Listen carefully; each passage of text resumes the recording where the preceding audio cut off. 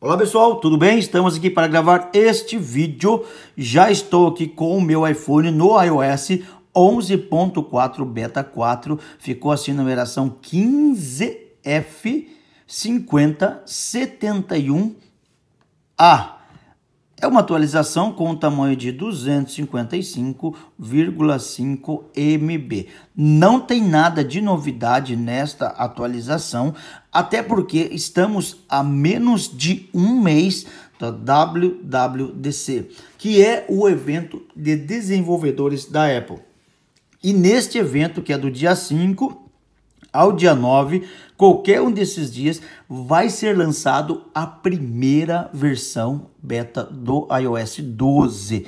Então, novidades chegarão junto com o iOS 12 na sua primeira versão beta que está aí muito próxima, menos de um mês, vamos conhecer um pouco do iOS 12. É claro que as novidades eles vão lançando conforme vai vindo as demais versões betas, mas de início já vamos conseguir ver é, grandes mudanças, espero eu que venha.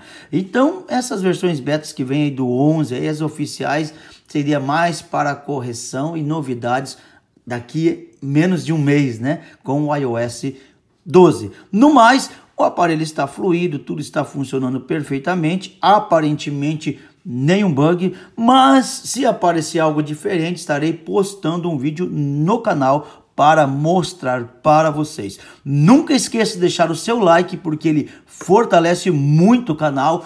Se inscrever se você não é inscrito, nos seguir nas redes sociais e se hoje não foi bom, amanhã vai ser muito melhor. Deus abençoe a todos. Fiquem com Deus.